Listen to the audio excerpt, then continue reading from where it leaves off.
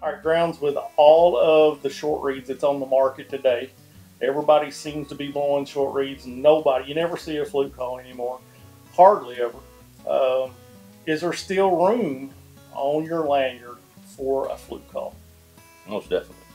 Because today, in this day and time, when everybody's using the same thing, short right, so all the short reeds are not the same. I'm not saying that, but a flute has a different tone to it. Um, some guys you'll hear that I like flute over the water. Personally, I didn't carry a water lanyard and a, and a lamb lanyard. Okay, but a cluck, and a moan, probably killed as many geese with that sound right there as I had anything. But definitely a spot for it. Um, they're inexpensive, but you're blowing instead of popping the air. Your tongue's coming. I'm overemphasized, but between your teeth, it's like a cork in a wine bottle. But with a short reed, your tongue's coming up, popping. Not always.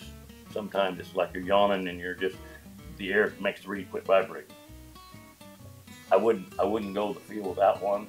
You know, in Southern Illinois, we don't get the geese like we used to, but it's still a killing machine.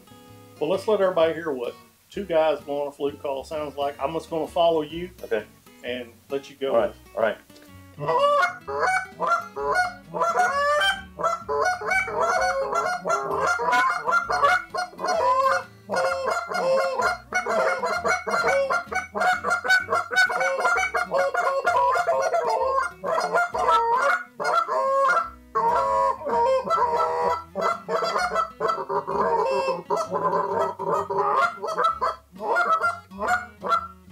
that sounds you, awesome. Hey, it'll, get, it'll get it done on days when nothing else will work. That's right. Hey, for more information on like the God's Best, and you got the the variable tone the, the guys best the variable tone honker. They're just tuned a little bit different. We got them in different materials and camouflage.